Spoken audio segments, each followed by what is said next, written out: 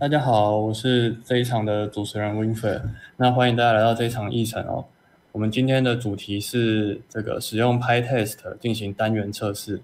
很高兴邀请到 Max 讲者来为我们讲这个 tutorial。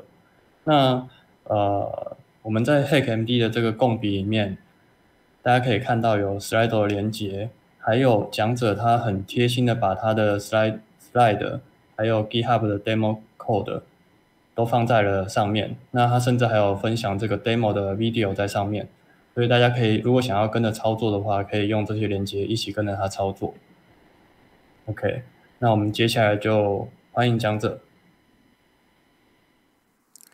各位 PyCom 台湾的朋友，大家好，欢迎大家今天来参加这个 session。今天我所要分享的主题是使用 PyTest 进行单元测试。那首先呢，我来做个简单的自我介绍，我是 Max Line。目前呢，在统综合医院咨询部担任高级管理师，那负责 AI 医疗影像的技术研发。那我在社群方面的经历呢，在二在一四年的时候呢，我共同发起了啊台中拍，还有呢 A 教台中的社群。那在二零一五年到二零一八年的呃四年之间呢，我也举办了台中敏捷之旅的研讨会。那今天呢，哦，我们所分享的这些呃城市码的 demo code 呢，就在底下这一个连接。那大家呢，可以在这个连接上面呢，啊，去呃看到我们的城市码的 repo，那也有简报的 PDF 档。那在讲测试呢，第一个想要跟各位分享的一个主题就是，啊，为什么我们要写测试呢？那在这边的话呢，呃，第一个就是。我自己认为应该是要证明城市码是依照我们自己想的一样在执行。那我们可以用手动验证城市的方法来来做测试，但是它非常麻烦，而且呢不能确定每一次测试的方式呢都是相同的。那如果我们有了测试城市之后呢，啊，那我们就能够每次都执行相同的这个验证条件那这样它会很稳定。那第二个原因的话呢，就是我们要避免改 A 坏 B。啊，我们的城市呢，如果上线之后，啊，将来呃有需求的一些变动呢，呃是一定会去做修改的。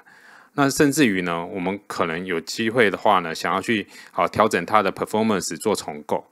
那这个时候的话呢，如果你有一个单元测试之后呢，你就呃比较会有信心的去呃做城市码的跟动。那这样子的话呢，会避免改 A 坏 B。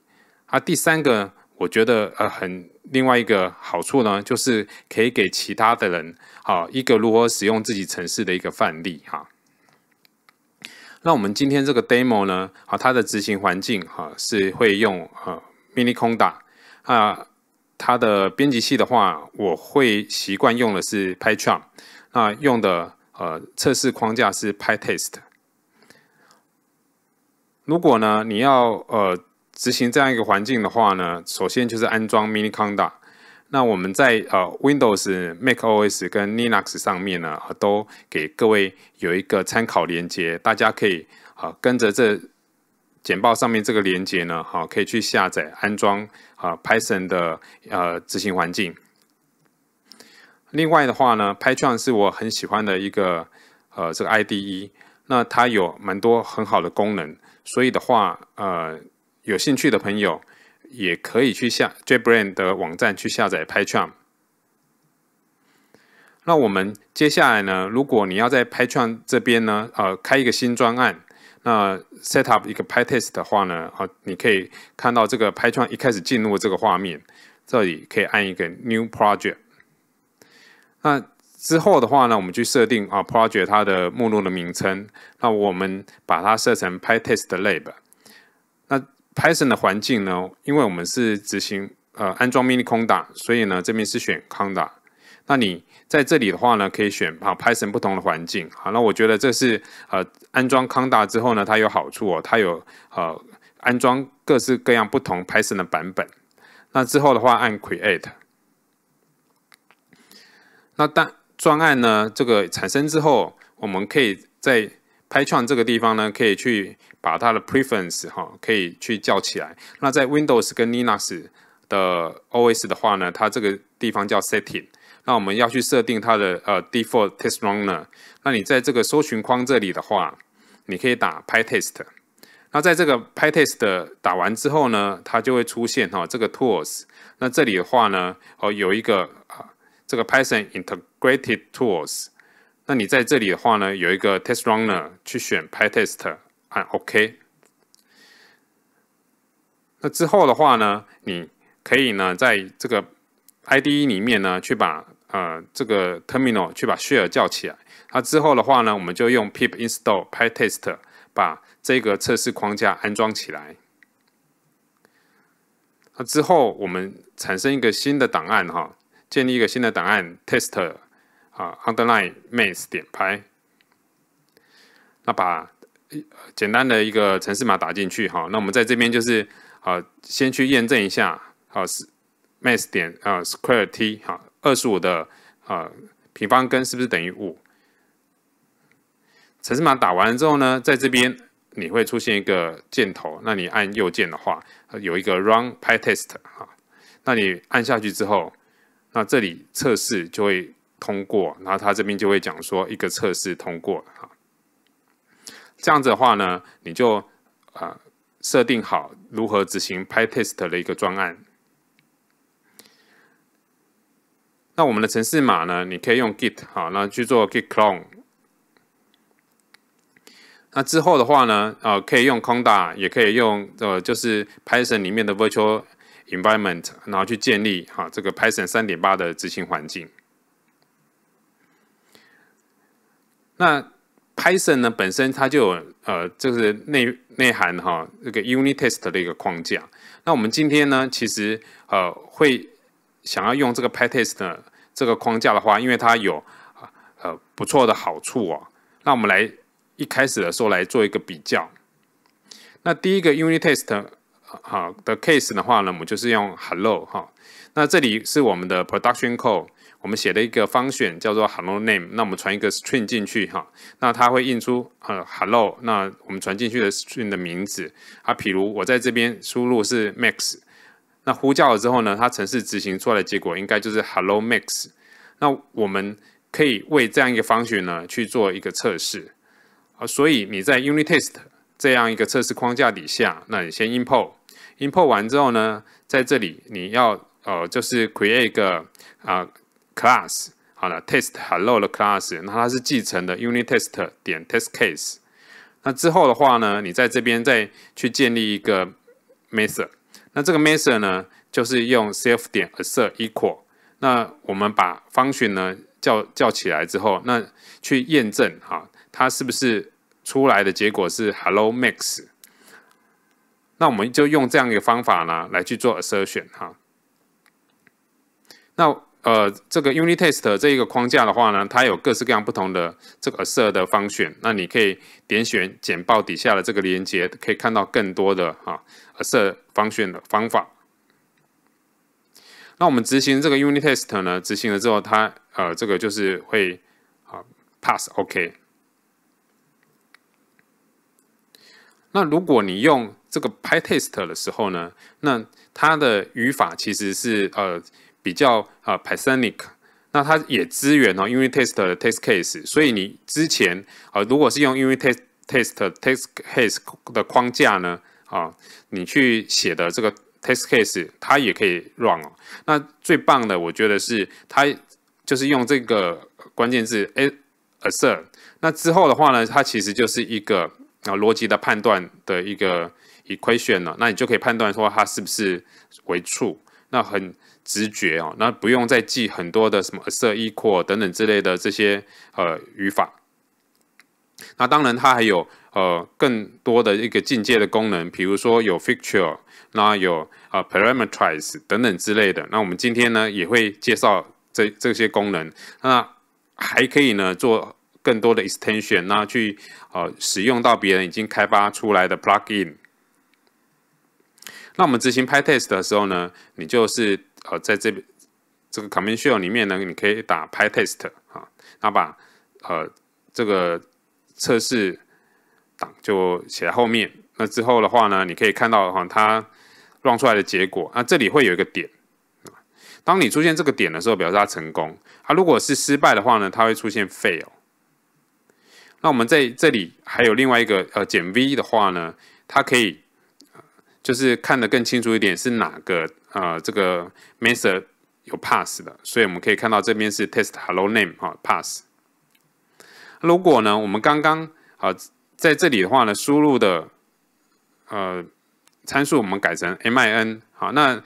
结果呢，我们这边还是维持 max。那这个之后，我们去 run 这个 test case，它会出现一个 f，就是 fail。那这 fail 的结果呢，它还会告诉你说，哈，是出错在这一行。那有哪个地方？好，这两个地方呢，本来呃预期的是 hello max，但是出来的结果是 hello mean。好，那我们以上呢，就是呃做了 unit。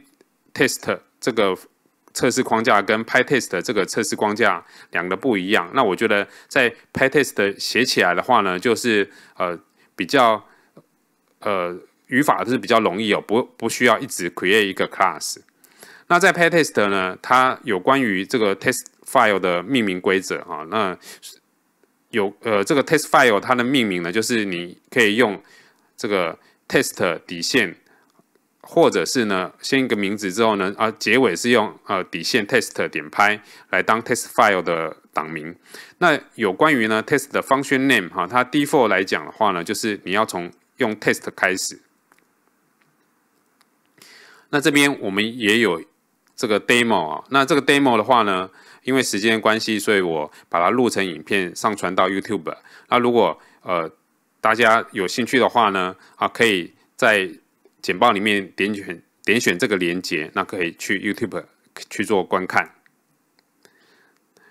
那现在我们再更深入来就是探讨一下什么叫做单元测试。那我们从 Wikipedia 的这个定义，好，我们可以来看到单元测试它通常是一个自动化的测试，它根据哈我们写的这个 application 的有一有一段的程式码，那我们叫做 unit 一个单元，那希望呢去。测试看看它的行为是不是照我们所想的那样去执行。那这这一个呢，就是说啊，有关于这个单元一个单元呢，通常哈，它就是一个方选或是一个 procedure。那在这边这样子啊，听起来感觉好像懂，可是呢，并没有非常的明确哦。那我在这个单元测试的艺术哈，The Art of Unit Test。那它现在有第三版，第三版的语言呢是呃 JavaScript 啊，台湾的话呢有第二版，好这个的中文翻译，那它是 C Sharp 的语言，那在这边它都同样的会去讲这样一个概念，单元测试哈，它是一段自动化的程式码，那这段程式码呢，它会去呼叫哈被测试的工作单元，哈，那这个测试的这个工作单元它的一个入口点，那有了测呼叫入口点之后呢，它可能就是会有一个出口点，那我们就要去检查这个出口点啊，那它是不是呃符合我们期待的行为，或者是呃输出结果？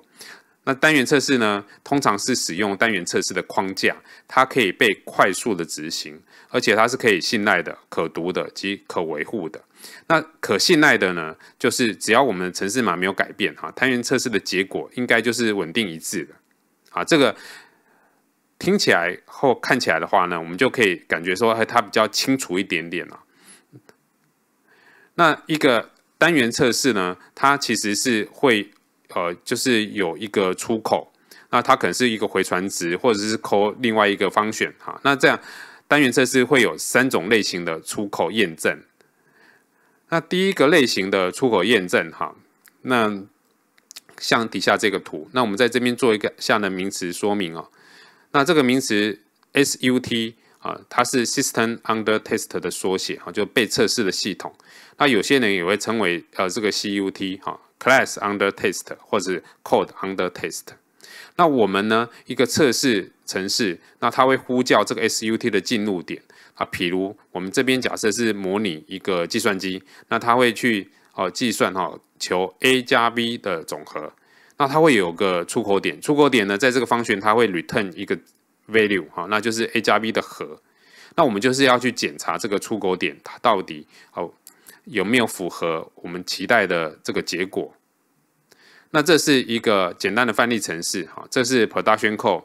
那我们呢去建立的 class，哈，calculator 这个 class，那有一个定义的一个 add 的 method，那它吃的参数是 a 跟 b，那我们去把 a 跟 b 结呃加起来的和呢，我们把它 return。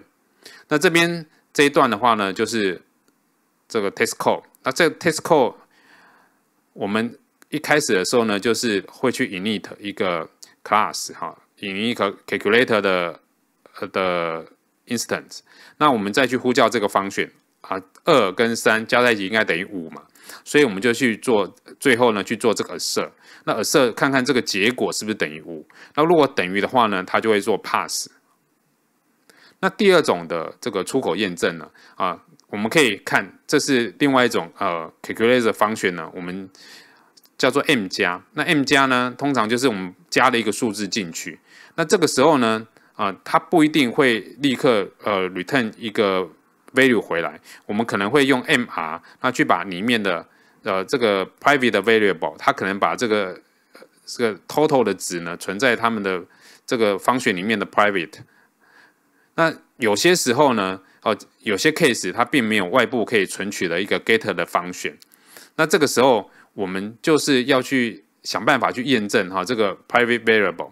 那一般来讲，像在那个物件导向的程式语言啊，像 Java，啊那像 C Sharp 啊这些这个 class 里面的 private 这个 member，它不一定可以去做 access，所以你就要用一些这个物向物件导向的程式技巧哈，去把它做这个继承。啊，继承了之后呢，再去把这个写一个 get 的方选呢，去把这个值，呃，就是 return 出来，那你才有办法做验证。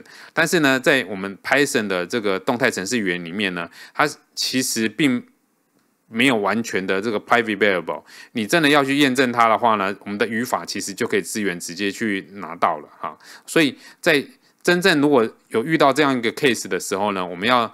呃，执行这个第二种出口验证啊，其实在 Python 是相对容易的。那第三个出口验证呢，啊，就是我们这一个有一个 SUT 哈，那我们去输入它一个体温，那我们这只检测一下这个体温呢，如果呢它可能高于呃，比如说三十五度 C，那我们就认为是它是这个。发烧了，那我们就在这个电子看板上面就出来，就说，哎，这个你已经发烧了哈，这样一个警告的文具。那在这边，我们可以看到这个 SUT 它是 call 的是呃 third party 的一个 library，那它叫电子看板去秀文字，但是呢，我们并没有办法好去 access 到这个电子看板。那我们怎么去验证它这个结果是对的呢？那刚刚的这样一个 case 呢，我们。会在呃，就是下一个单元里面会有这个两种外部依赖里面跟大家介绍怎么解这个问题。那我们接下来再去探讨哈，就是 unit test 的的两个主题哦。第一个就是 exception。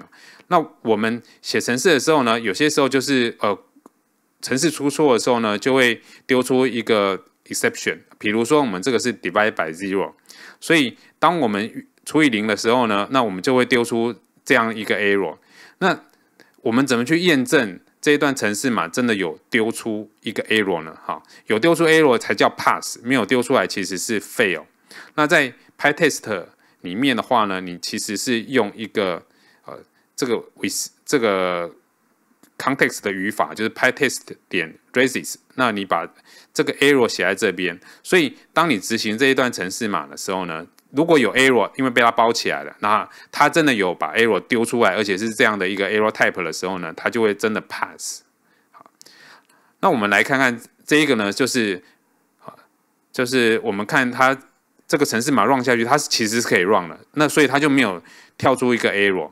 这个时候呢，反而这个测试呢，它是会 fail，因为它这边会讲说，并没有这个丢出一个 exception 出来。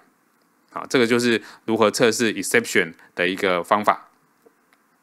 那 demo 的话呢，啊，我们一样哈，有 YouTube 上面的一个连接，大家可以点进去看。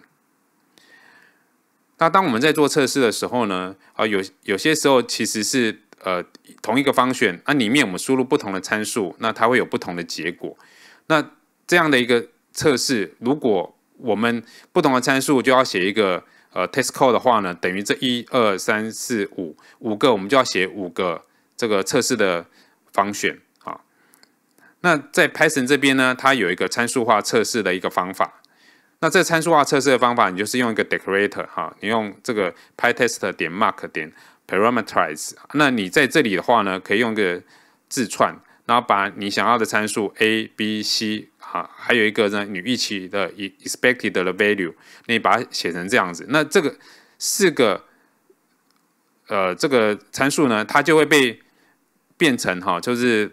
pass 成一个测试程式里面测试方选里面的呃参数带进去，那里面的值呢，你就是用一个 table 的 list，然后把这个些值放进去之后呢，它这一段程式码其实就在验证哈，这样的程式呢，它可以跑出来，所以等于一二三四五，那你去让这个嗯 pytest 的时候呢，它就等于帮你跑了五个呃测试在里面。那同样呢，在这一个 demo 也可以呃点连接去看呃 video 的影片。好，那我们在这边呢，就是第一阶段先在这边告一个段落。那如果大家有什么问题的话，我们可以在这边呃先讨论一下。谢谢。好，嗯。谢谢讲者为我们讲完了第一段。那我们这个会分三个 part，然后中间都会休息十分钟。那每一个 part 是二十分钟。那中间这休息十分钟，我们会开放让这个讲者，会让听众问问题。那讲者会在这边回应。那呃，大家如果问题的话，可以在 Slido 上面留言，我们可以从 Slido 上面回应。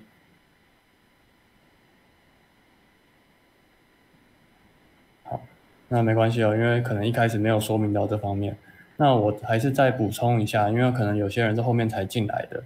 那在我们的 Hack MD 的共笔上面啊，江浙很贴心的把刚刚的这个 slide slide 把刚刚的那个 slide 跟这个 code 程程式码都有放到这个 Hack MD 上面，所以大家往下滑都可以看到，还有分享三个东西。那最后面他还有分享他的 demo 的影片，他刚刚已经放上 YouTube 了，所以在 YouTube 上面可以看到他 demo 的影片。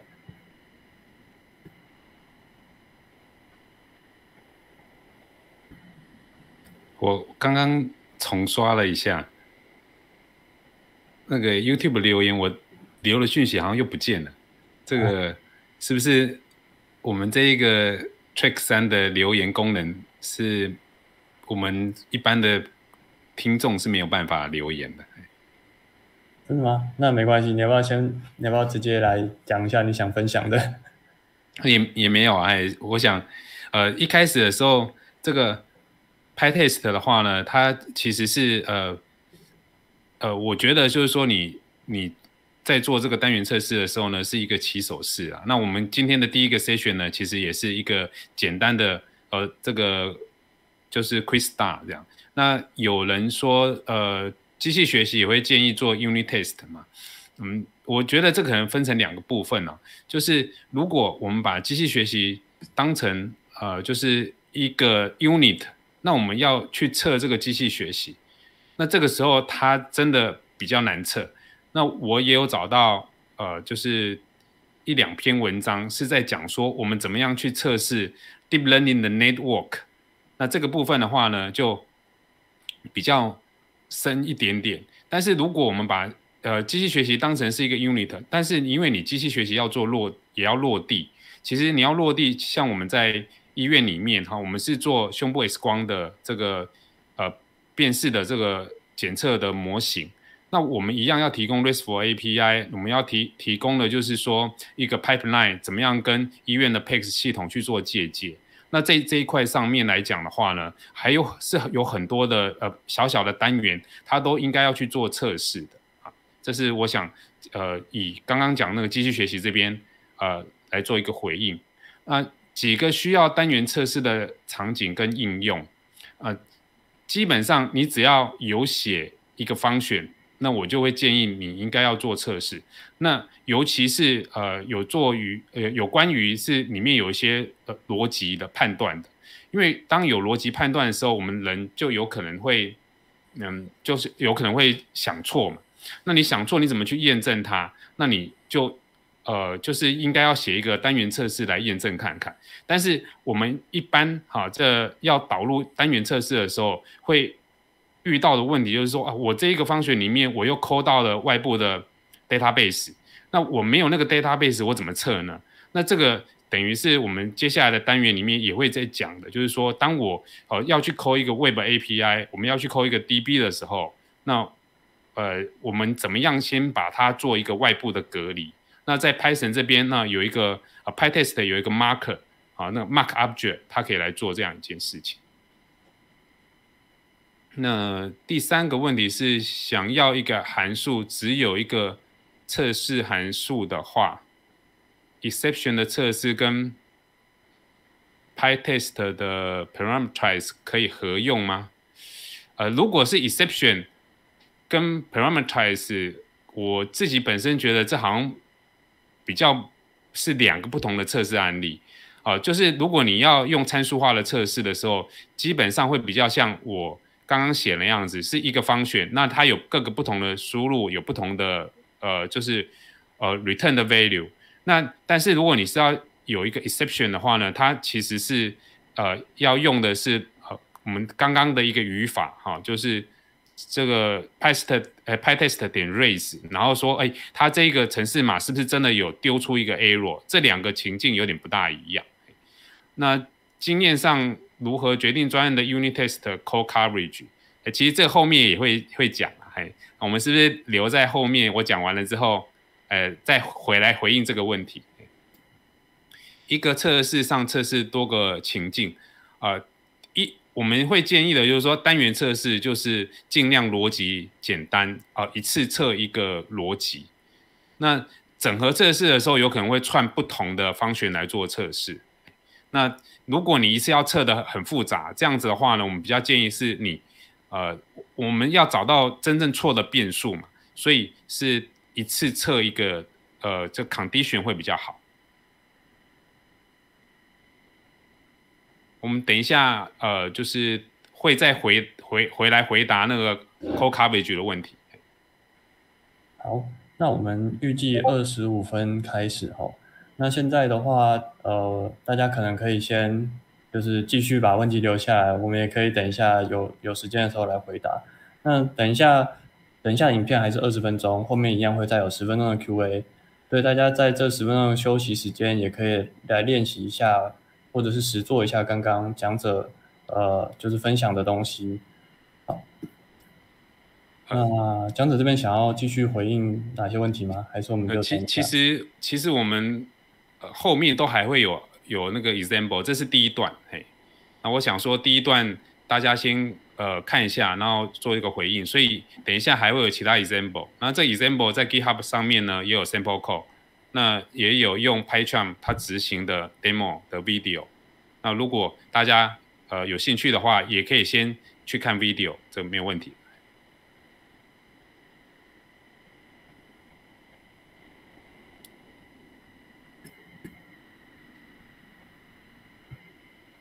所以我们现在是要再继续回应，还是让大家休息一下？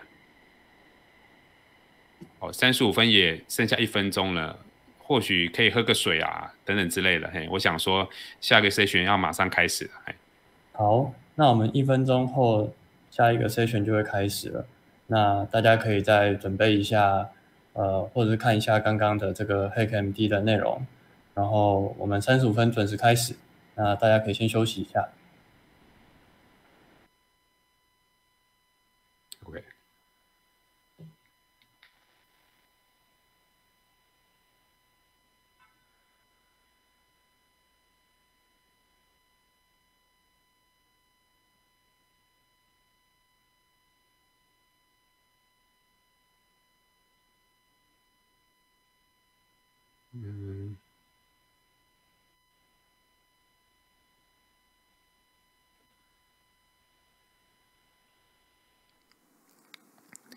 大家好，欢迎回到使用 PyTest 进行单元测试。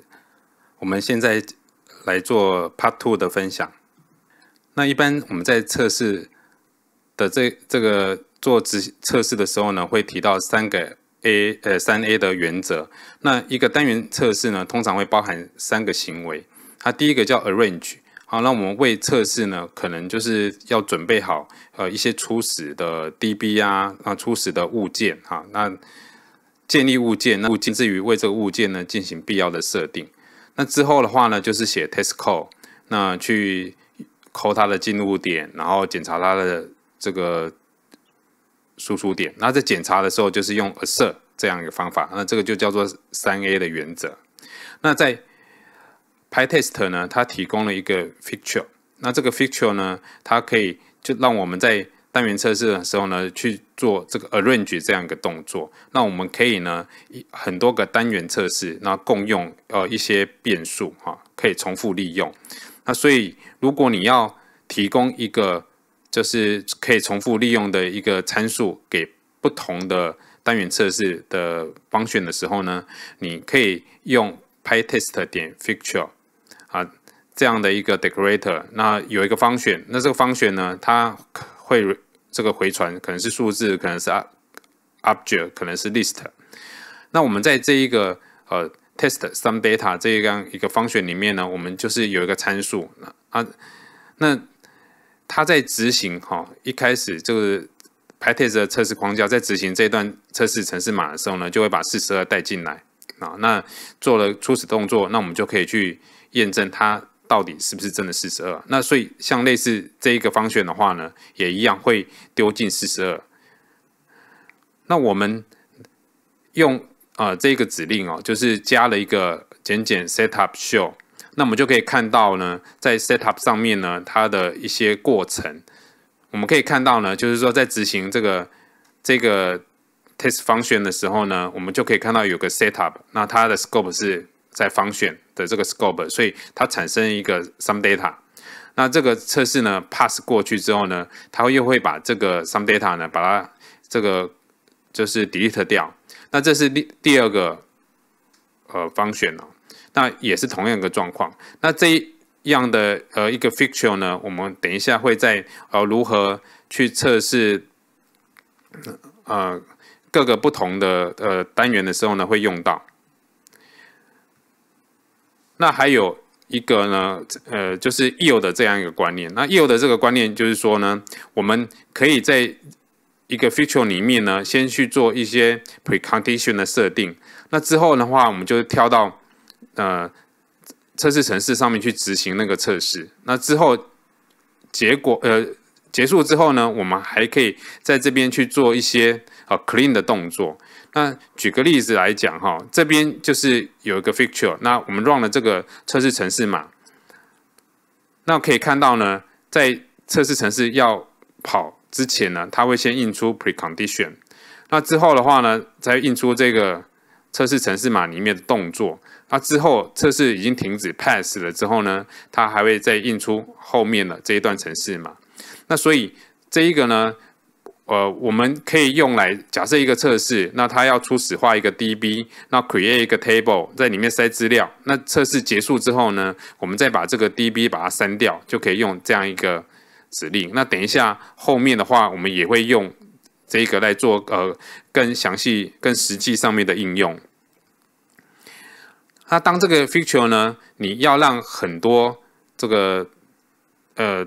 这个 test file 来共用的时候呢，那你就可以把它存在一个叫啊 conf test 呃点 py 的这样一个文件里面啊，可以进行一个全局配置哦。那我们可以看到这样一个目录结构啊，在这里的 conf test 点排里面的 feature 呢，你就可以让啊 test a、test b、test c、test d 好来去呼叫使用。那如果在这个 sub directory 里面呢，那这呃 conf test 里面的 feature 它只能给 test C 跟 test D 用啊，上面的话它就会看不到啊。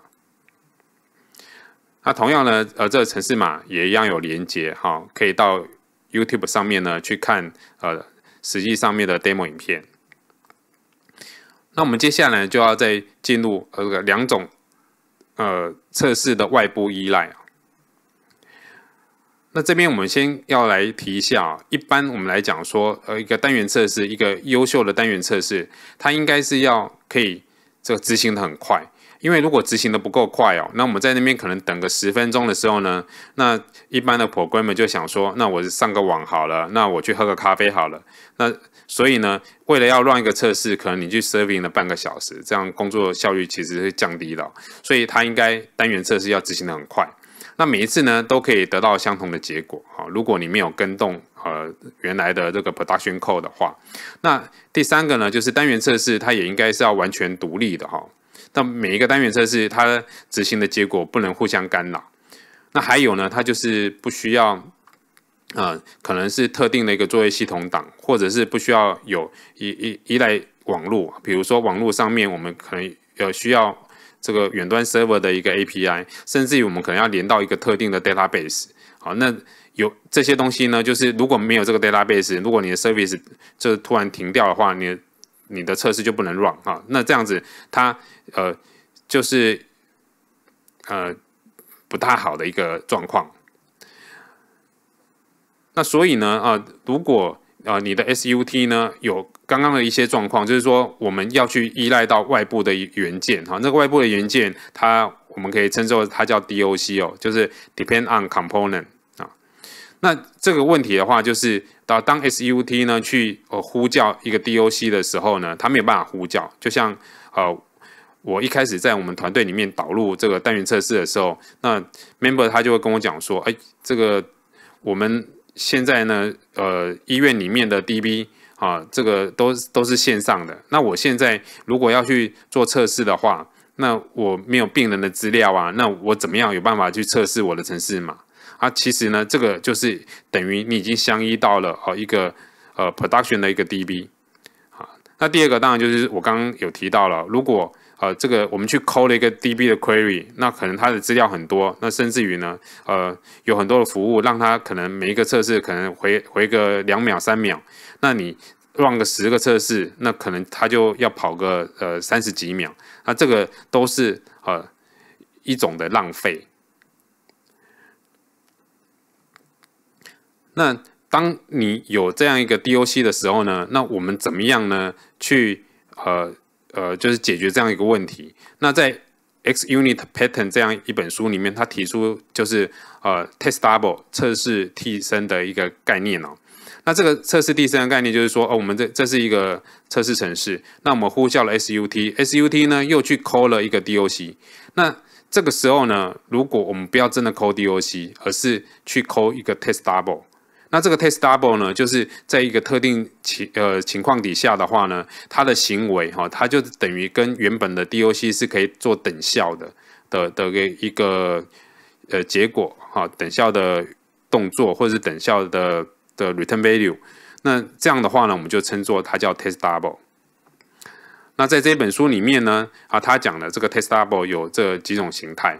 那第一种叫 dummy object，有可能我们在 SUT，那在 DOC 里面呢，它可能在宣告的时候需要这个 object，可是呢，呃，我们在这个测试的程式码里面完全都不 care 它。那这个时候呢，我们就可以用类似像一个 no object，那我们把它存进去而已。啊，那 test double 呢，就是如果我们呃这个测试程式码呢需要呃去呼叫一个 DB 查询一个资料之后呢，根据这个资料来做一些判断，它是一个 input，那就是用 test double。那 test by 的话呢，它就是呃 SUT 它去 call 一个 DOC，那 DO DOC 现在不能用，我们用一个 spy 来来代替的时候呢，就是这个 spy 可以把啊就是 SUT call 的一个参数把它记录下来，好，那它它甚至于还可以再回呃一一个值回去，好。那 mark object 呢，就是它可以去做录 SUTCO DOC 的这些参数。那 fake object 呢，它是实际上面的这些 DOC 的呃一个实作，所以它这个是基呃一个简单版的实作。好，所以我们从左边到右边的这个光谱来讲的话呢，这边就是几乎完全没有实作。那这边呢，就是已经做了蛮多的实作哈，才叫 fake object。那详细呢怎么样做？我们来看。那下面这一个哈，这个是第一个外部依赖，那它叫做传入依赖啊，它并不是 SUT 去做的这个出口，那他们也要做判断嘛啊，我们没有要去判断它的结果对不对，但是呢，SUT 需需要它提供的可能是一些呃。测试专用的一些资料啊，譬如我们去资料库查询一个结果，那我们去就是我们的文件系统里面呢，去把某个文件叫呃读回来，或者是去网络上面抠一个 API，啊，这些都是都是哈由外向内流入 SUT 呃的一个被动资料。那在这本书里面呢，他就提出这个 stub 的观念哦，那我们就用 stub 来隔呃，就是隔离传入依赖啊，就是用假的那个 module object 或 function，那就是他每次抠这样一个一个 stub 的时候呢，我就固把固定的值就是回传回来。那因为这样固定的值回传回来，SUT 去做的判断呢，它就可以是呃这个每次执行都是相同的结果，那我们就可以针对这样的结果呢去做。我们呃去做 a s s e r 哈，去做比较。那在一个单元测试里面呢，它可能可以有多个呃 stub。那在 pay test 里面的话呢，啊，我们怎么做哈？我们现在来看呃一个例子。那这个例子呢，就是我我们举例哦，就是去取得一个手呃开刀房里面的整个的那个手术的清单资料。啊，这是 production code。那我们定义的一个方选叫做 all operations。那里面的参数就是某一天，那在某一个开刀房，那我们需要回传的是这个手术的一个清单。那在这个 production code 里面呢，我们 call 了一个呃，就是 DOC。那这个 DOC 是它去读一个 DB。好，那我们并没有真正去实做 DB 啦。我们在这边就是哦，如果你真的跳进来了，那我们就是丢一个 exception，假装你是读不到 DB，好，这个就是一个 DOC，啊，那我们的 test code 里面呢，啊，就是在这里我们去呼叫哈，就是六六零一房，然后去把时间丢进去之后，那假设你城市码是这样子，然后你要去做这个设，好，这个呃回传出来的 list 里面的房间是不是都等于是这个六零一？这时候你就会产生 exception 了。在这这里的话呢，你把刚刚那段呃 test code 呢去跑测呃就是拍 test 去执行它的时候呢，你就会看到说它有一个 fail。那 fail 的地方在这里，这里就是因为它去 call 了这个方旋，那这个方旋它在这里呢就是遇到 exception。那这个部分的话呢，我们呃其实就是可以用一个 mark object 来去模拟外部的一个相关。那在这边呃我可能。刚刚讲的很快，呃，跟各位再提一下，就是说，啊，在 X Unit 里面呢，我们提供资料的这样的一个 testable，它把它定义为叫做 stub。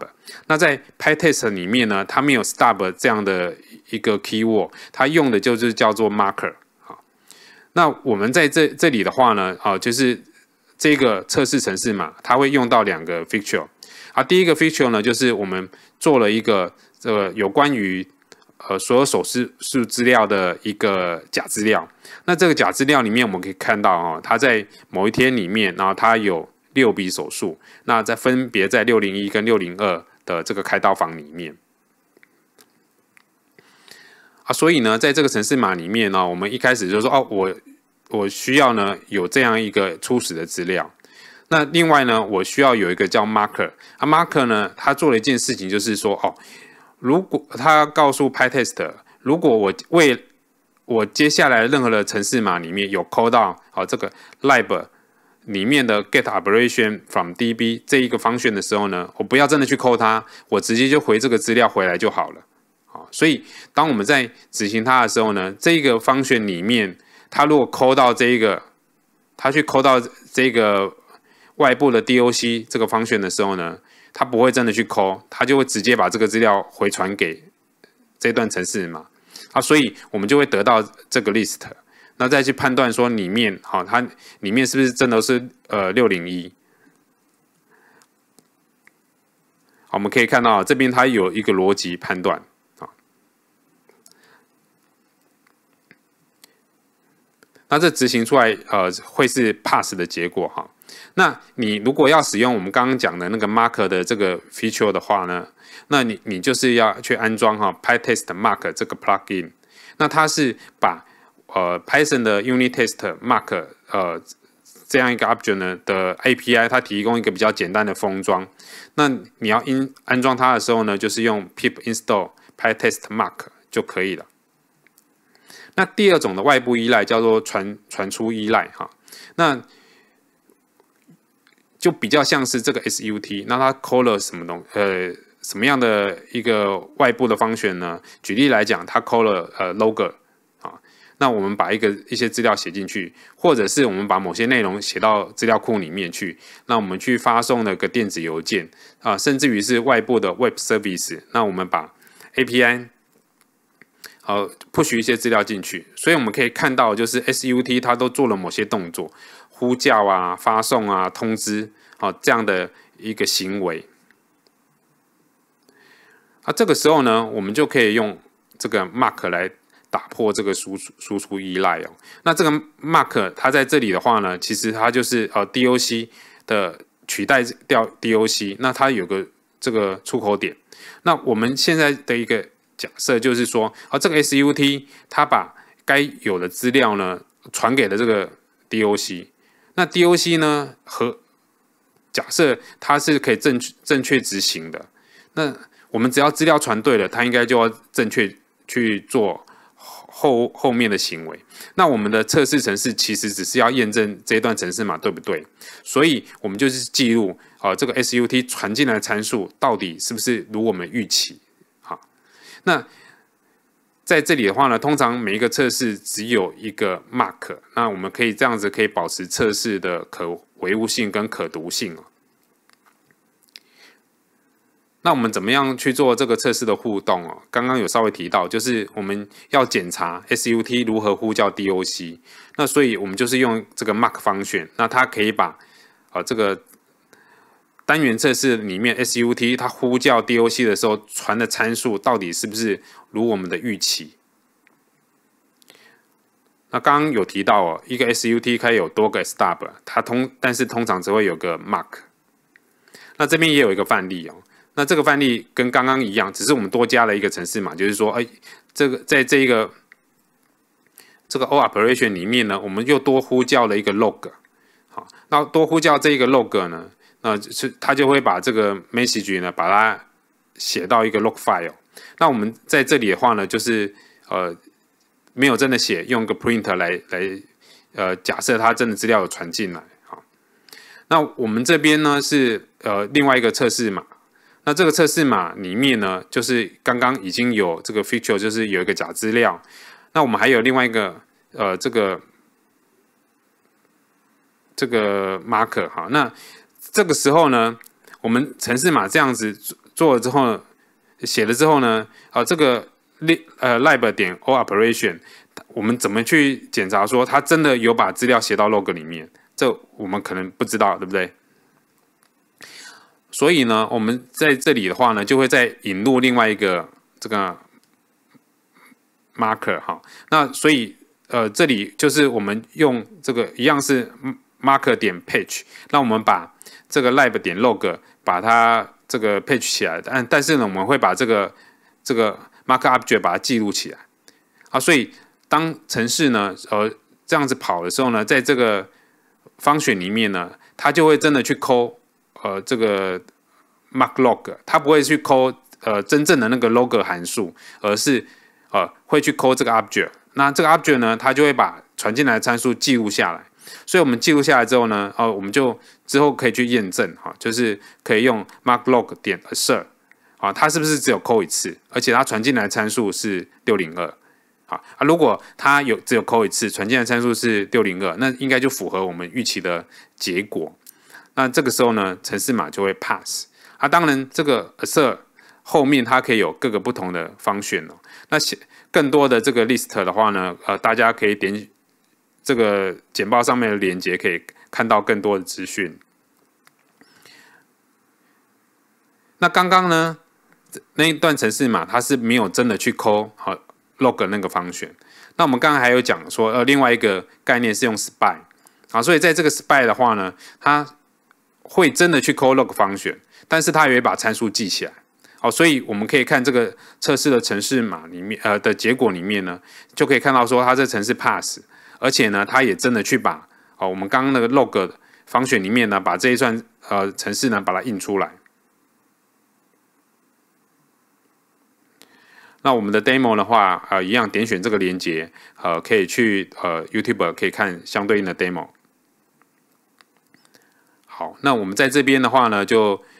呃，可以暂停一下，那可以有一些讨论哈，谢谢大家。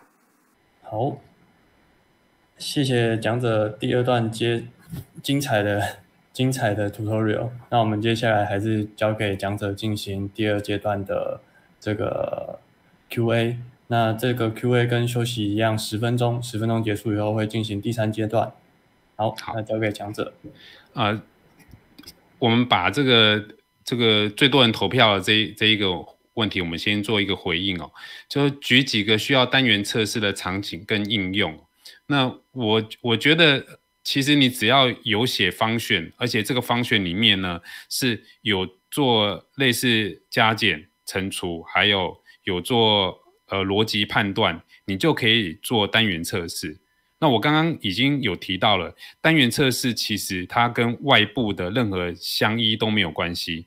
如果我们外部是需要去抠一个 DB，那你就把这个呃抠 DB 的呃取得资料那样的一段程式码，你要抽取出来变成一个方选。那之后的话呢，它会回传出可能在 Python 那边我们可能是一个 list，可能是一个呃呃 dictionary。那你拿到这个资料之后呢，呃你你要在单元测试里面做做单元测试，你就是呃去用 mark 或是用 feature，然后就程式一起来的时候呢，就已经先把这个假资料建好。所以你的单元测试真正的重点是要测你那个方选里面的加减乘除跟逻辑，哦，尤其或者是 loop 啊，在这边会不会有有出错的？哎，那所以只要程式比较复杂一点就可以。但是如果你的程式只是去 database 里面送呃，去查一个资料，然后呢，就把这个资料原封不动的就导成 JSON 回回回去，那我就觉得这样的状况就不需要是没有错。好，那呃，三个 SUT 只有一个范例，呃，有没有范例？有啊，这个刚刚已经讲讲过了嘛。那怎么样做好？要 mark 很多元件呢？那假设。假设你要做单元测试的话，就是我刚刚讲的，呃，就是你一个测试里面呢，可以有多个 stub，那有一个 mark，那这样来做测试就会单元测试比较简单。那但是如果是呃所谓的 end to end 或者是整合测试，好，我们等一下的第三单元也会提到，呃，这个有关于整合测试的这一块。那整合测试的这一块呢，会比较建议的是。呃，你先有单元测试，单元测试可能就帮你抓出很多的小问题了。那你有这些问题都抓出来，你整个测试其实是要就只要去测 Happy Path。那为什么要有那个 Happy Path？是因为有可能你们是一个 team 在开发，所以别人的单元跟你的单元在做整合的时候呢，有可能就呃就是在串接的时候逻辑上的出错。好，那是需要串这一块。那等一下也有一张 slide 在跟大家讲说啊，为什么每个单元都可以正常，可是呢合在一起不正常哈？有一张图可以，呃，这个很容易就说明这一件事情。那这个 integration test 自己实做的方选，呃，和 lab 也建议写 unit test，呃，这个部分就像我刚刚讲的，单元测试要测的是。就那一一段程式码里面的逻辑，那整合测试要测的是单元跟单元串接的逻辑，哈，这两个人部分测的东西是不一样的。那在这边有第三方串接的功能做测试，第三方没有提供测试环境，那就像我刚刚呃提到的的那个方法，你要去做 mark，嘿。那这样的话呢，其实你主要的就是说，我们先假设第三方的方选是正常的，所以我们如果传给他的参数是对的，那我们就可以合理的去判断说，哦，那这样子的话，这个方选应该是会正常。那但是如果整个测试出来是错的，那有可能真的是第三方方选有问题。我们做这样的一个测试，主要就是我们要有办法去 locate 啊，我们的到底 issue 跟 bug 是发生在哪个部分。那我们先解决自己呃城市码不没有问题，那我们再去看呃第三方会不会有问题这样子。那这个部分可能就是之后再请主持人帮忙看怎么样把回答过的的问题可以消掉这样子。哎，那不好意思，好。哎，这里又有一个人跳出跳出，就是呃，PyTest 的前案执行的结果可可不可以存到下个案例？比如说注册的账号产生的身份证，如何在后面的测试案例使用？那这个就分成两个阶段了。如果你是要做单元测试，那你就不需要去说呃，你就不你的单元测试里面可能有呃有一个已经假设已经有的呃。注册的身份证字号，那你就要用的是用我们刚刚讲的 feature，那就或是或是那个呃 stub 去把这个资料输进来。那如果你要做的是那个整合测试，那当然没有错。整合测试的话呢，就要要把它存起来。那怎么去存起来这件事情，呃，我我我觉得这就要看真正的 context 啊，才才能去讲。因为你如果已经去做整合测试呢，代表说你。会牵扯到 DB 会进来，那你就真的可以把资料存在 DB 里面，那最后去验证出来，呃，串接的结果是不是合适的这样子？这个部分，呃，我可能要需要更多的 context，我才有办法回答到呃你的问题哦。我我觉得，嘿，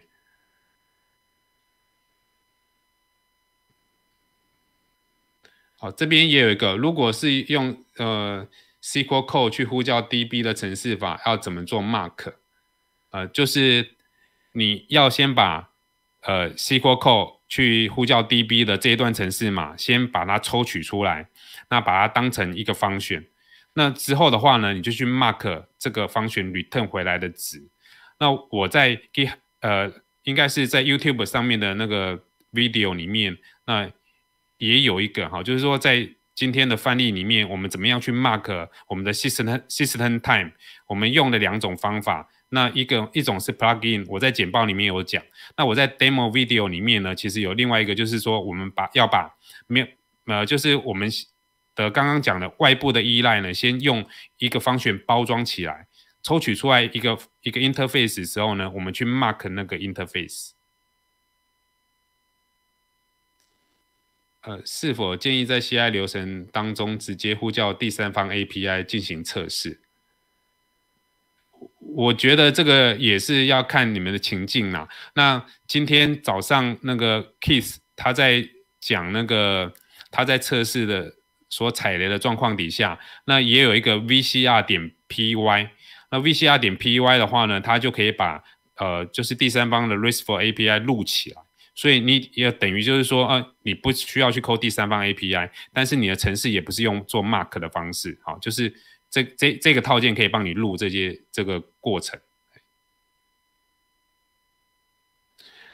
那还有一个就是单元测试跟 PyTest 如何做选用哦？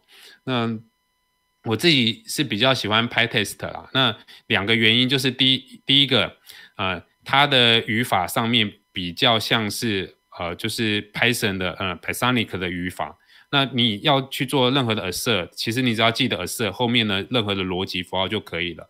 那 Unit Test 的话呢，它比较像是 X Unit 的这样一个 pattern。那本身我觉得，呃，这这个这个部分我自己呃一开始选择的时候，我就选择 PyTest。哎，那如果你跟我讲说，呃，它的好处的话呢，我觉得。在做推广上面，其实你比较容易推广。我们一开始写 Python 的的的同仁呐，你要在团队里面去推广的时候，并不是所有人都会有 OO 的 concept。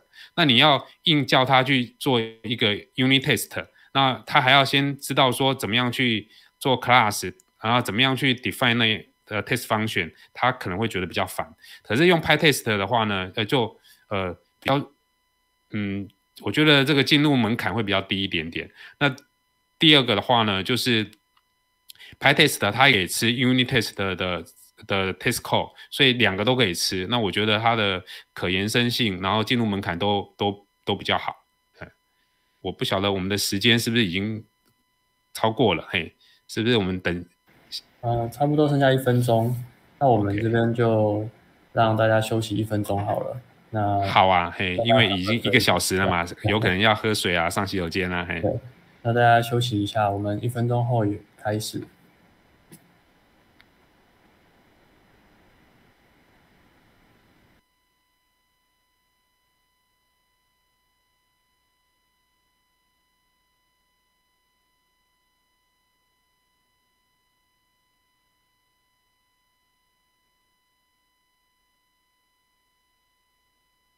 我这边又又看到了一些问题，嘿，等一下有关于 Flask 的整合测试，我有稍微 cover 到一下，那等一下我们可以再看，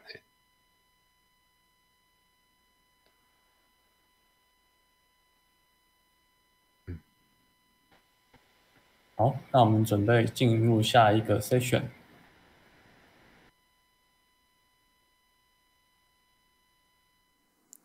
欢迎大家回来。我们现在进行最后一个部分的分享。那在呃刚刚的单元测试之后呢，我想跟各位来分享一下整合测试。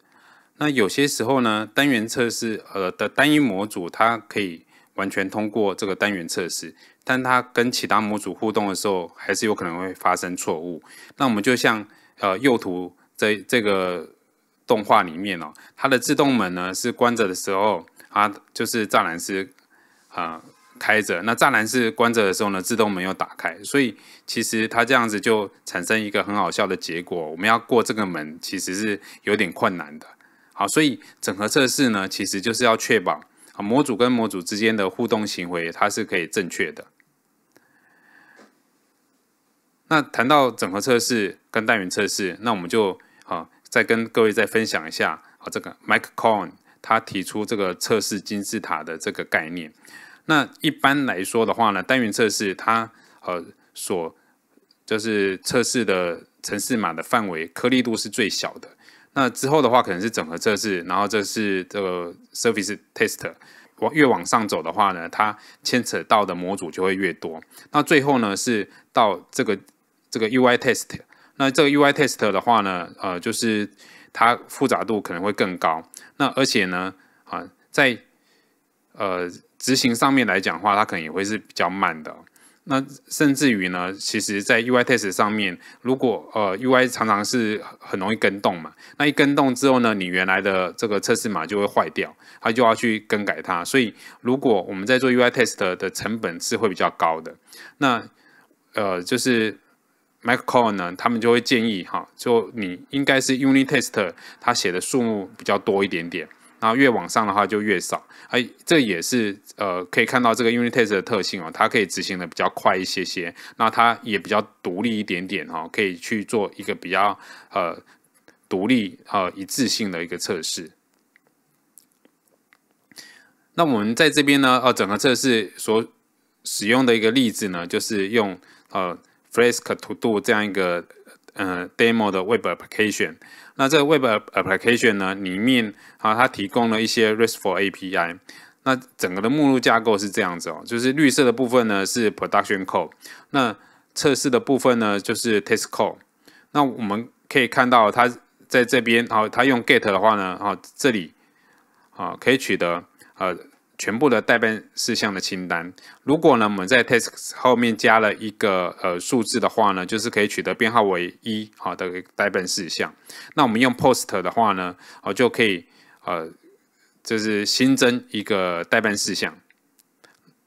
那在这个部分上面来讲的话呢，啊，我们如果要去测试说哦，我们是不是真的有呃可以拿到呃。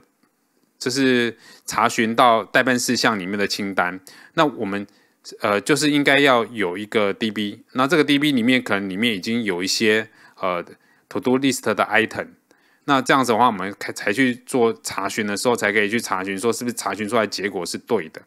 那要做到这样的一个呃目标的话呢，那我们其实就是要运用一个工厂模式，那为每个单元测试呢都重新建立一个 DB。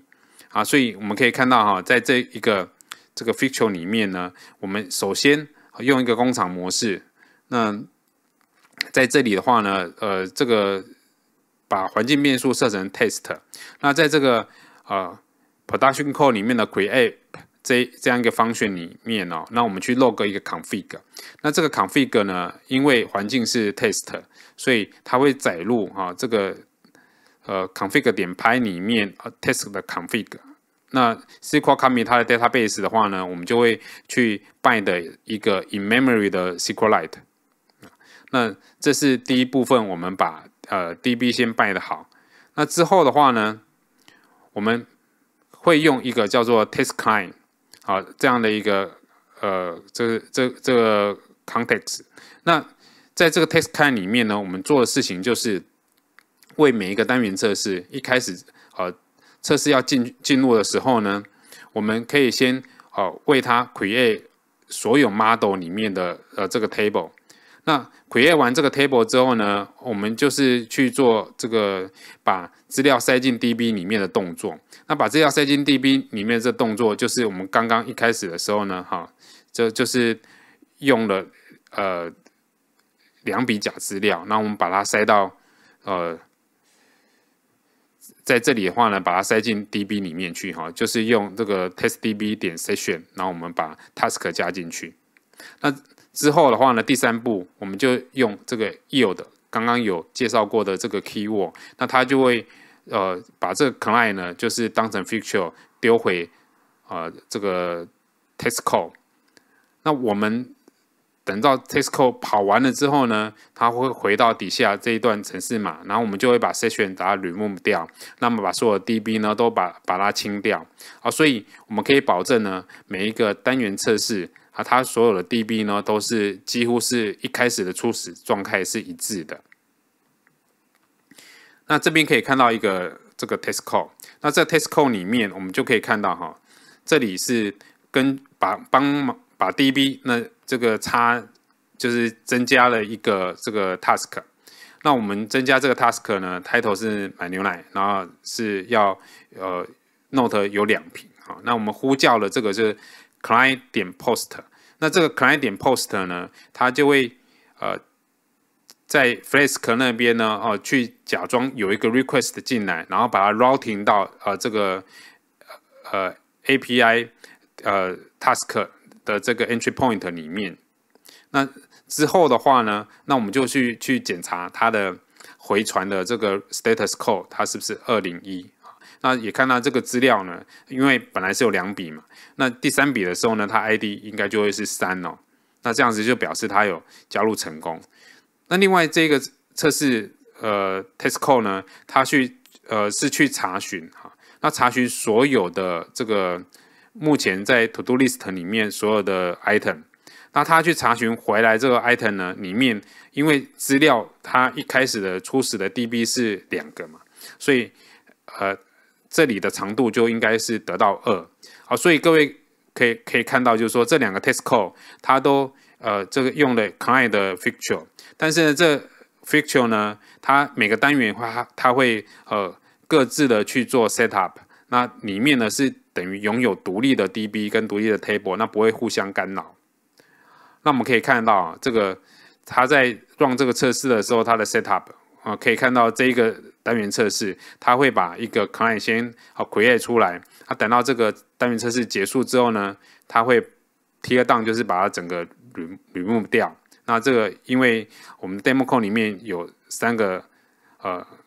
测试哦，那可以看到这边都是这样 pass，然后也都有看到哦，它可以有 set up，那有自己的这个 tear down。那有关于 PyTest 的 plugin 呢？哦，我们一开始的时候有讲的这个 PyTest Mark，那这这个 Mark 的话呢，它就是呃可以做呃外部的这个隔离外部的依赖。那之后的话呢，我们现在就是想再跟各位介绍两个呃 plugin。第一个 plugin 的话呢是做 co co coverage 的的量测，啊，第二个的话呢就是我们可以把系统时间呢把它固定下来。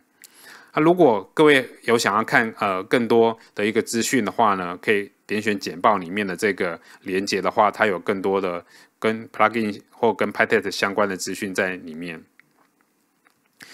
那 c o coverage 就是城市码的覆盖率哦，它是软体测试里面的一种度量啊，那就是描述城市码我们的 production code 里面哈，它被测试的这个百分比比率。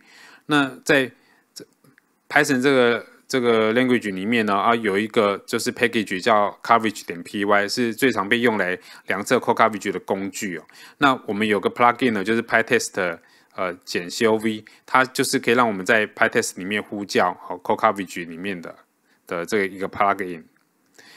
那你安装的时候呢，一样就是用 pip install 哈 PyTest 呃减 cov。那要执行它的时候呢，就是哎我们要执行这个程式码。那这里边就是说哦，这个要去量测的路径哈是目前的的这个目录。那它这里的话呢是从荧幕输出，那这边会产生呢呃一个 HTML，那这里是 XML。那这个 XML 啊你阐述了之后呢，你可以呃。用其他的工具来看哦，那本来我们有准备想说用 SonarQube 这样的一个呃，就是 server，那 open source 的 server 可以让大家看说把每一次啊 c o c a v a g e 的记录都把它记录下来。那也是因为时间关系，所以我们有录了一个影片哦。那大家之后的话呢，可以上呃 YouTube 的的网站去看。那我们在这个 c o c a v a g e 这个地方的话呢，这个 report 就是你执行 HTML output HTML 的时候呢，就会产生一个 HTML cov 这样的目录，里面会有 index 点 HTML。那你把它打开来，你就可以看到哈，这个 production code 它跑了这个有几行都是程式码测试程式码都跑过的啊。那我们在这边呢，你可以再把，比如说我们要点那个 routes 点 py，那你连接点进去的时候，它就会把这个另外一个 coverage report 可以把它调出来哦。那大家就可以看到，这个如果你有执行过的地方，它会是绿色的；那没有执行过的地方呢，它会就是呃红色。那我们刚刚其实是有跑说，我们去查询呃所有 task 里面的资料。那因为呢，它呃这是真正有执行完，所以它没有去跑到 above。这一行程式，所以这一行程式是啊，在整个测试里面没有跑过，所以它就会是红色啊。这个就是呃，coverage 产生的一个 report 啊的呃呈呈现的一个方式。那在这边就跟各位再呃分享一下，就覆盖率是不是可以要越多越好呢？啊，其实我们要考虑上哈，就是说那个 ROI，因为我们。这个写单元测试、维护单元测试也是要成本的。那所以，呃，如果在这个考虑上，这个考虑 ROI 的这样一个考量底下的话，我们可能应该要先找有商业逻辑的这个 production code，然后我们去加呃呃测试，或者是它逻辑比较复杂、比较容易出错的地方呢，那我们去加呃就是呃测试会比较好。那第二个呢，就是我们希望能做到就是。相对趋势呢要大于绝对趋势，因为我们如果要在一个团队里面去推单元测试的时候，那你呃一开始就是说，哎，我们要定到要到六十趴，要要到七十趴，或者是要到九十趴，那这个团队成员一开始如果还没有开始写单元测试，他还没有感受到单元测试的好处，那你要一开始要他那么多，要搭那么多百分比的时候呢，其实是很容易废而掉的。所以我们会比较建议，好，那可以一个从一个比较低的。呃，测试覆盖率开始，但是呢，哦，我们可以呃要求这个成员呢，他在每一次 commit 的进去的时候呢，我们的 code coverage 不要下降，所以代表是我们每一次 commit 进去的 code，它都有一定程度的呃这个测试码来去啊涵盖它。那如果是这样的话呢，就是团队就会往比较好的方向慢慢慢前进，因为总会有人他会突然发现说，哈，哎，原来这个测试码真的是呃。帮助到他不会去改 A 坏 B，那他呢？当开始慢慢慢享受到这个测试码所带给他的这个安全网的好处的时候呢，他就更愿意去写写这个呃单元测试。那我们在接下来就是最后一个主题哦，我们要怎么去 mark 一个系统时间？那我们在这边有一个情境，就是呃前一阵子我们要预约疫苗嘛，那我们医院里面呢，其实就是呃就是。还没有开开始预约的时候呢，那你你就是跟他讲说，呃呃这个六月十四号八点以后才能预约。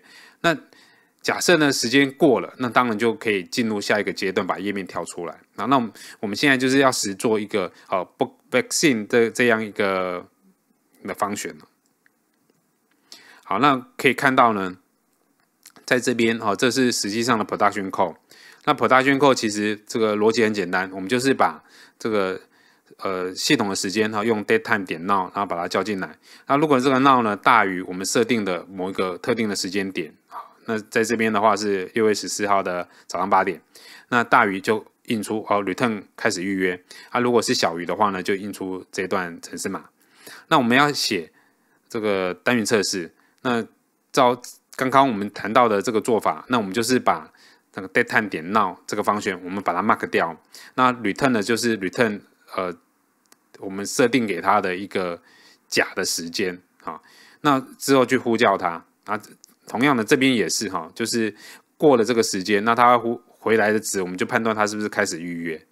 那但是呢，如果你用这样的方法去 mark 它的时候呢，它最后系统时间其实是没有办法被 mark 掉的。那所以我们在这里这一行程式码呢，你去执行的时候，他会跟你讲说 fail。那为什么呢？因为找不到哈这个 now 这个 attribute。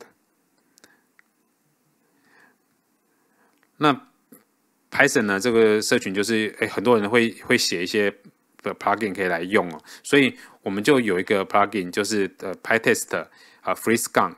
那这样一个 plugin，你用这个 pip install 的方法呢，把它安装下来。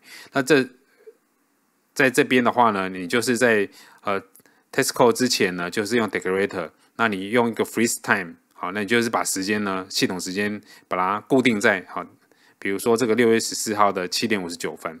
啊，当你呃固定好了之后呢，你不用这个 marker，好，它自动会帮你把这个呃。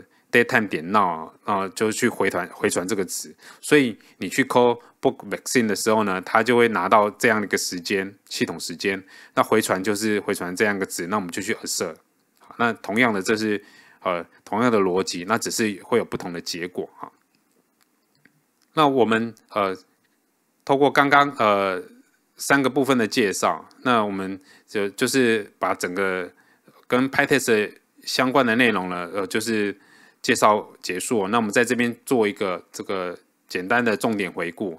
那首先呢，我们呃根据这个单元测试跟大家介绍了呃什么是呃单元测试，那为什么要做单元测试，以及如何做单元测试。好，那在单元测试里面呢，就会谈到说哦，我们怎么样去做三种不同的出口依赖。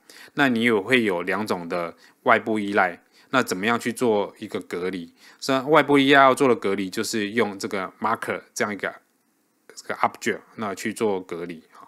那呃，在测试里面呢，都会有所谓的 arrange、那 actor 跟 assert。所以你要一开始去初始化一些 DB、初始化一些物件的时候呢，你就可以用 feature。那有了单元测试完了之后呢，我们就是进行。做整合测试，那整合测试里面呢，有一个测试金字塔的这个概念哦。那希望说大家单元测试的数量多一点，那整合测试的数量呢，就是呃，把该有的那比较这个复杂的一个逻辑哈的的组合，把它呃写出来就可以了。那在这里的话呢，如果是 Flask，那你可以用 Feature 去 init 呃这个 Test Client，那可以去 init DB 哈。那之后的话呢，就是用 yield 的去跑到单元测试。那之后，呃，yield 的单元测试结束之后呢，再把那些 DB 把它 remove 掉。那关关于测试的呃城市码覆盖率的话呢，就是要考虑 ROI。那相对的趋势要大于绝对的趋势。那有 PyTest 也有很多的 plugin 哦。那在这些 plugin 里面，我们介绍了这个 coverage system time。那另外呢，呃。就是我们常常用那个 request，我们去呼叫外部的这个呃 API，啊，也有一个 mark 哦，可以就是 mark 这个 request。当你去呼叫特定的那个网址的时候呢，啊，它可以你可以去设定一个固定的回传的值啊。那我想，呃，今天呢，我的分享就到这边呃，整个结束啊。那这里呢有一些参考资料，啊，大家如果有兴趣，对单元测试、整合测试有兴趣的话呢，可以再点进去参考更多的这些资料。那我们今天的分享就到这边，呃，告一段落。那也欢迎大家哈，就是加入我们台中拍，啊，在 Facebook 上面呢，去 Google 台中拍，那就可以看到我们的社群。啊，非常谢谢大家。好。谢谢讲者精彩的教学哈，那我们接下来进行最后十分钟的 Q&A 时间。那刚刚因为问题太多了，所以 Slido 上面的问题我们先把它 archive。那大家刚刚有还没有问到的问题，可以再再补一下。那我们讲者会来这个一一的回复你们，谢谢。那接下来交给讲者。OK 啊，我刚刚就是照这个题目上再回回回应哦，呃。现在视讯上面也有哈，第一第一个问题的话，就是测试量如果很大，比如说两千项以上的测试哦，那这个部分我自己本身我们呃好像还没有到那么大的 project 了哈。那我在那个 YouTube 上面已经有贴了一个叫 XDIST，那我在很多的呃 PyTest 的书上跟文章上都看到有人会推荐这一个 plugin。那它可以去做那个平行化的一个测试哦，或许呃就是提问的这个伙伴的话呢，你可以呃之后可以去试用看看。那一个测试函数是不是有多个这个 assert？嗯，这个部分的话呢，呃，就是 error 的话，它当然就会跳出来，没错哈。那这个就呃牵扯到好像是。下面有另外一个问题，我想一起一并回应，就是如果一个测试的方选只有一个 assert 比较好，还是要写多个？那我觉得是在同一个呃，就是逻辑底下的话，当然是要写在一起。比如说，呃，我们知道说这个方选就是要测回一个 list，这个 list 里面有两个呃 element，那这 element 都是一个 dict，那你要测 dict 里面的一些值，那你一定会在你的 Unit test 里面呢，去验证这些资料，那当然就会写呃，可能是好几个测。但是如果是不同的逻辑，那单元测试会比较建议的就是，你就是把这些不同的测试的案例跟逻辑要拆开来。那这这一个的话呢，刚好就是今天早上十点的时候啊，那个成功的测试失败哈，这个 kiss 一样。他有有跟大家做一个分享啊，就是这个部分没有错。如果呃就是 is success 的话呢，要等于一，它这这一这一段的话呢，就是会会当成是 coverage 有有 cover 到。那如果你已经 aware 到这个状况的话呢，那你就写两个 case。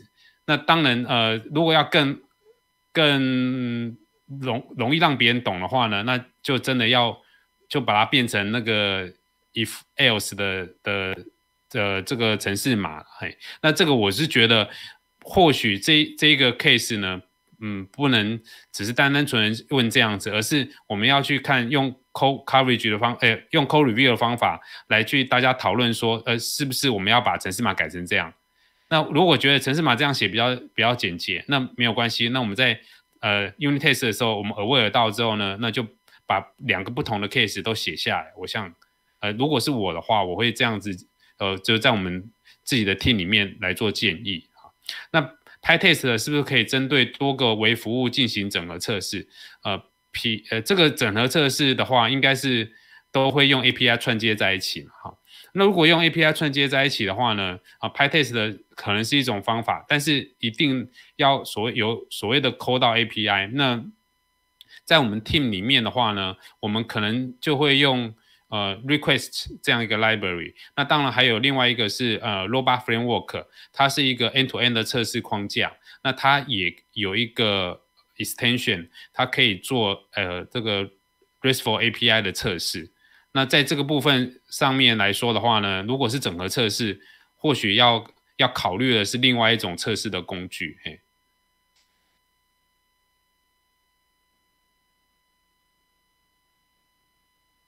对，那我想我大概这边回复应该都回复了。那最后我其实想要再多分享一点，就是呃单元测试这件事情呢，其实嗯它是一个慢慢慢慢的累积哦。哦，我在我们 team 这边的话呢，哎，就是一开始的时候，我们可能只有一两个测试，但是慢慢累积到上百个测试之后呢，哦，你你开始就会呃有不一样的感受。哦，所谓不一样感觉就是说，你的城市码，呃，工程师比较敢说，哎，那我今天我来改看看，好，我来重构一下，我来测看看，哎，这样会不会对？那改了之后呢，真的错，啊，发现改错了之后，你还会有一点点高兴哦，真的。单元测试有帮到我，那你就会有有机会让你的城市码呢，就是变得越来越好。那如果你没有这个 unit test 的时候呢，大家的心态会比较倾向啊，这个城市可以 run，那我现在不要改它，可以跑就好了嘛。那现在改它干嘛呢？哎，但但是如果你真的又觉得说，哎，我一定要重构，你没有单元测试的时候，那你重构之后。什么时候把 bug 埋进去，你也不知道。所以在这个过程里面，我觉得在一个团队里面，最重要就是要推让大家愿意开始写单元测试。所以我们也没有说一开始要把那个 code coverage 呢就要定得非常非常高。呃，或许可能一开始的时候二二十趴也好啊，三十趴也好，但是我们有一个呃让大家取得的一个共识，就是说我们每一次 commit 进去之后跑出来的 code coverage 不要。往下降，好，就是希望是越来越高。那你城市码，你假设本来是三十趴，那你下一次 commit 进去还是有三十趴，那表示你已经有写一些单元测试了。不然的话，你城市码加进去之后，code coverage 应该会下降。那慢慢慢，大家养成这个习惯，那也觉得 unit test 开始有帮到你，你工程师就会觉得说，哦，那我我觉得写写它是 OK 的这样子。那单元测试，单元测试的频率，若测试过的部分还需要再测吗？呃，单元测试就是呃每一次 commit 的时候就要把所有单元测试都重 run 一遍。嘿，我们是这样子啊，因为你全部都重乱一遍，你才会知道说呃前面的呃那些单元你会不会因为改 A 坏 B。那这边还有一个就是 Mark SQL 的 DB，呃有什么建议？